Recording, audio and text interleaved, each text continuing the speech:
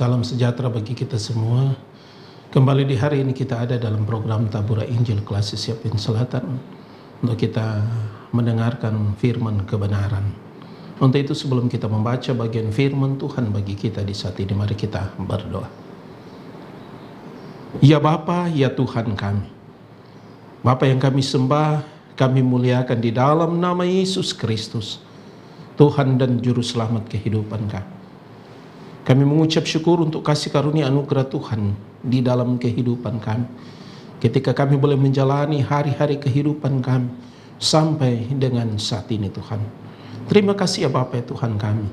Bahkan kami boleh bersyukur kalau di hari ini kembali kami ada dalam program Tabura Injil Klasi Siapin Selatan.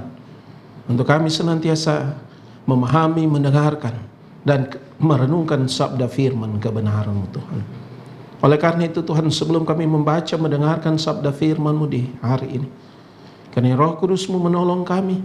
Roh kudus-Mu memberikan kami hikmat pengertian. Supaya ketika kami membaca, mendengarkan, dan merenungkan sabda firman kebenaran. Kami senantiasa boleh melakukan itu di dalam kehidupan kami. Kami dituntun oleh firman dalam setiap perjalanan kehidupan kami. Ini kami Tuhan di dalam nama Yesus. Amin. Saudara-saudara pemirsa tabur Injil yang diberkati oleh Tuhan Yesus Kristus bagian firman Tuhan bagi kita di hari ini terambil dari kitab Markus pasal 8 Markus pasal 8 ayat yang ke-14 hingga ayatnya yang ke-21 Markus pasal 8, 8 ayat 14 hingga ayatnya yang ke-21 Demikian bunyi firman Tuhan tentang ragi orang Farisi dan ragi Herodes. Kemudian ternyata murid-murid Yesus lupa membawa roti, hanya sebuah saja yang ada pada mereka dalam perahu. Lalu Yesus mem memperingatkan mereka, katanya, "Berjaga-jagalah dan awaslah terhadap ragi orang Farisi dan ragi Herodes." Maka mereka berpikir-pikir dan seorang berkata kepada yang lain, itu dikatakannya karena kita tidak mempunyai roti. Dan ketika Yesus mengetahui apa yang mereka perbincangkan, ia berkata, "Mengapa kamu memperbincangkan soal tidak ada roti? Belum juga ke kamu faham dan mengerti? Telah degilkah hatimu? Kamu mempunyai mata, tidakkah kamu melihat? Dan kamu mempunyai telinga, tidakkah kamu mendengar? Tidakkah kamu ingat lagi?" Pada waktu aku memecah-mecahkan lima roti untuk lima ribu orang itu, berapa bakul penuh potongan-potongan roti kamu kumpulkan? Jawab mereka, dua belas bakul. Dan pada waktu tujuh roti untuk empat ribu orang, itu berapa bakul penuh potongan-potongan roti kamu kumpulkan? Jawab mereka, tujuh bakul. Lalu katanya kepada mereka, Masihkah kamu belum mengerti? Demikian bagian firman Tuhan bagi kita di saat ini. Saudara-saudara pemirsa tabura Injil yang diberkati oleh Tuhan Yesus Kristus. Dari bagian firman Tuhan yang kita baca, kita dengarkan tadi dari kitab Markus 8 ayat 14 hingga ayat yang ke-21 yang menjadi tema perenungan bagi kita berjaga-jaga dan awaslah terhadap kemunafikan dan keserakahan. Berjaga-jagalah dan awaslah terhadap kemunafikan dan keserakahan. Saudara-saudara pemirsa tabur Injil yang diberkati oleh Tuhan Yesus Kristus. Sebagai manusia, hidup itu penting. Siapa pun dia, sangat penting ketika dia menjalani kehidupan di tengah-tengah dunia. Jadi hidup itu adalah penting bagi manusia. Itu melebihi apa pun. Dan untuk mendapatkan kehidupan, banyak cara, banyak hal yang dilakukan, banyak hal yang digunakan dalam mencapai atau menemukan atau mendapatkan akan kehidupan itu. Berbagai macam cara dilakukan, baik yang baik, tetapi juga ada cara yang tidak baik di dalam kehidupan. lewat keserakahan, lewat kemunafikan untuk mencapai akan kehidupan itu. Dan saudara-saudara yang kekasih di dalam Yesus Kristus, banyak hal yang bahkan dikorbankan untuk mencapainya dalam kehidupan. Dan karena itu lewat pembacaan kita di saat ini, firman Tuhan dalam kitab Markus pasal 8 ayat 14 hingga ayat yang ke-21 ini. Tuhan Yesus memberikan peringatan kepada murid-muridnya untuk memperhatikan apa yang harus dilakukan di dalam kehidupan mereka. Kalau kita membaca dalam ayatnya yang ke-15, Tuhan Yesus katakan, Berjaga-jagalah dan awaslah terhadap ragi orang Farisi dan ragi Herodes. Saudara-saudara yang kekasih, ragi adalah salah satu bahan yang digunakan dalam membuat adonan roti untuk menjadi menggemang. Dan kata ragi ini dipakai untuk menggambarkan kehidupan yang penuh kepura-puraan dan kepalsuan. Saudara-saudara, apa yang digambarkan oleh Tuhan Yesus? Berjaga-jagalah dan awaslah terhadap ragi orang Yahudi atau orang-orang Farisi kita tahu bersama-sama bagaimana kehidupan orang-orang Farisi yang penuh dengan kemunafikan.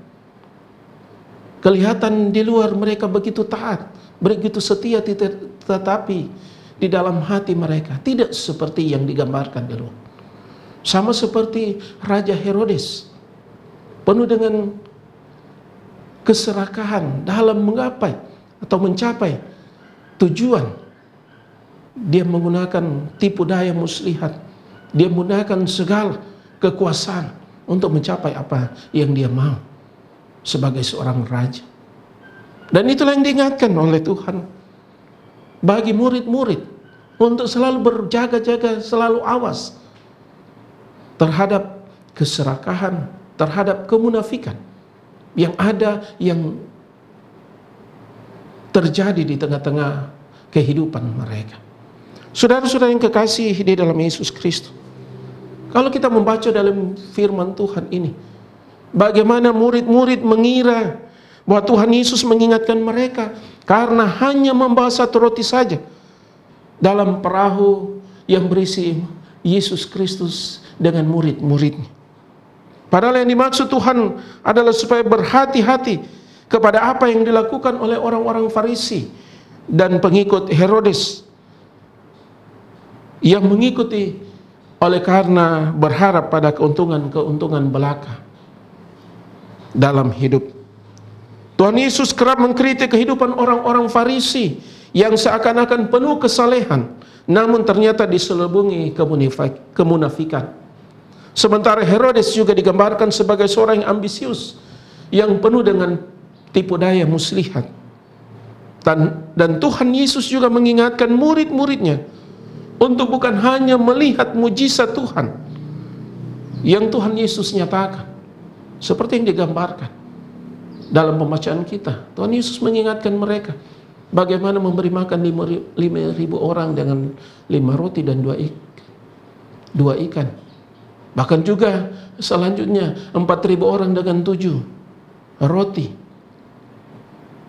Dan bagaimana diberkati oleh Tuhan itu mujizat yang terjadi yang dinyatakan oleh Tuhan menyatakan tentang kekuasaannya, tentang kemuliaan.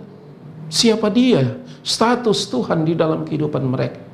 Yang kalau kita lihat dalam bagian firman Tuhan ini bahwa bagaimana murid-murid hanya menganggap bahwa itu hanya mujizat Tuhan sampai kepada mujizat Tuhan tetapi sebenarnya dari bagian ini dari apa yang dinyatakan oleh Tuhan lewat mujizat Tuhan Yesus mau menyatakan kepada murid-muridnya.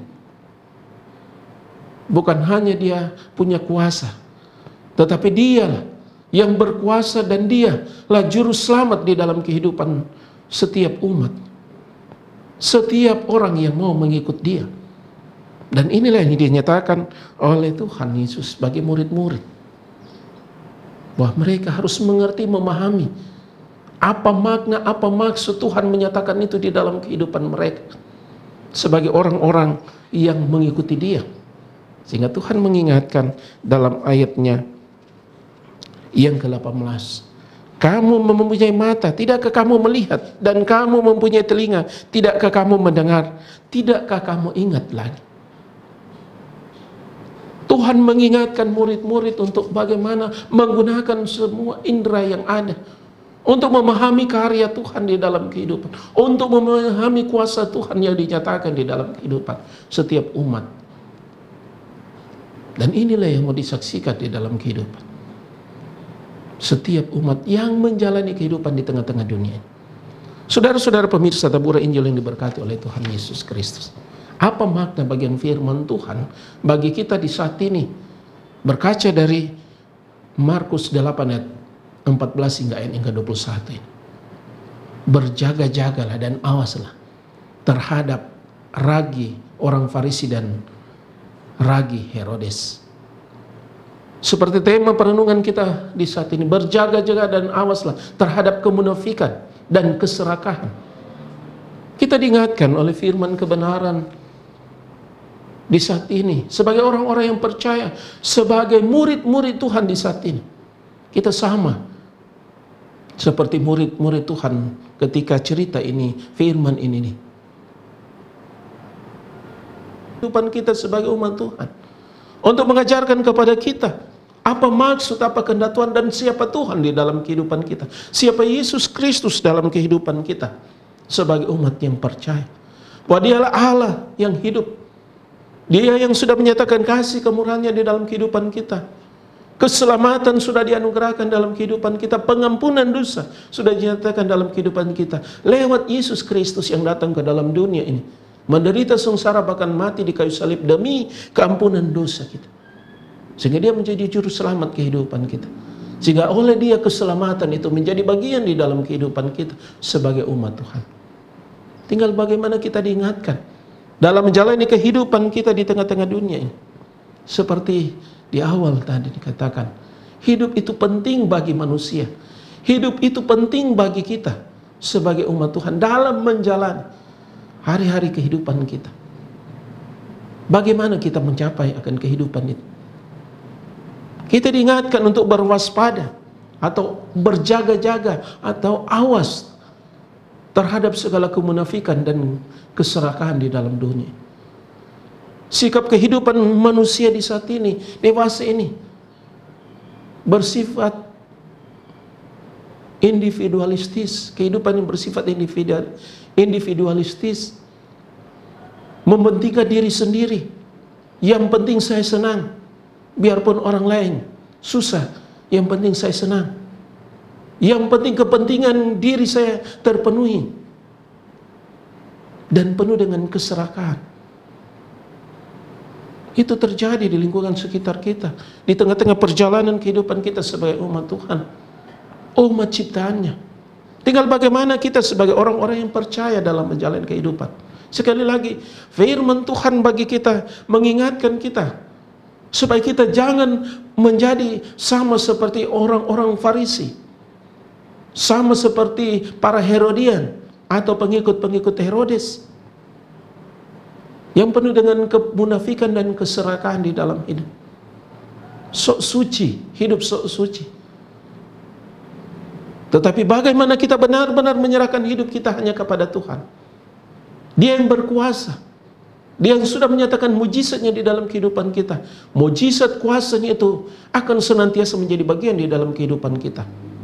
Asalkan kita benar-benar meyakini Yesus Kristus adalah Tuhan dan Juru Selamat di dalam kehidupan kita yang senantiasa akan menjaga, yang senantiasa akan memberkati setiap perjalanan kehidupan kita. Sehingga nyatakan itu dalam hidup kita. Sekali lagi berjaga-jagalah dan awaslah terhadap segala kemunafikan dan segala keserakan dalam hidup tetapi rendah hatilah di dalam Tuhan. Jadikanlah Tuhan Yesus sebagai Tuhan dan Juru Selamat dalam kehidupan kita. Akan menuntun kita, memberkati kita dalam perjalanan kehidupan kita di tahun 2023 ini. Tuhan Yesus memberkati firman-Nya. Amin. Mari kita berdoa. Bapa kami yang di sorga, Bapa di dalam nama Tuhan kami Yesus Kristus, lewat tabura Injil kelas Siapin Selatan, di hari ini kami boleh diingatkan oleh firman kebenaran untuk berjaga-jaga awas terhadap segala kemunafikan dan keserakahan yang ada di tengah-tengah dunia ini dewasa ini Tuhan.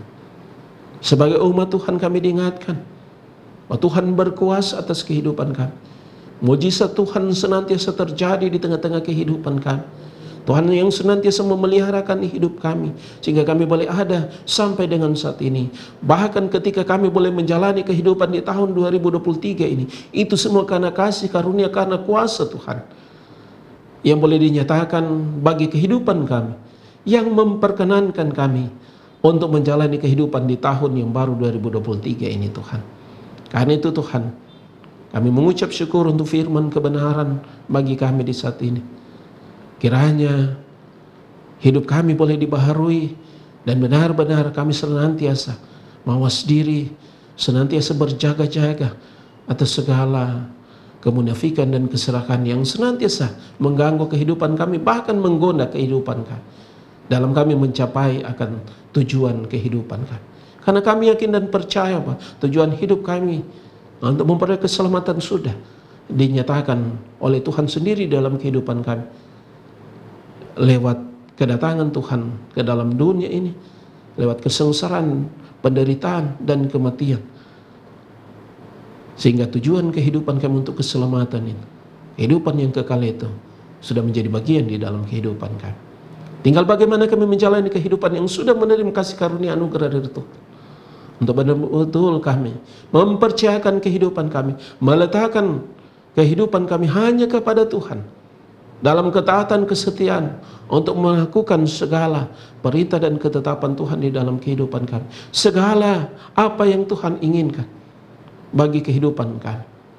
Supaya berkat kasih karunia Tuhan menjadi bagian di dalam kehidupan kami. Karena itu Tuhan kami hanya masyarakat.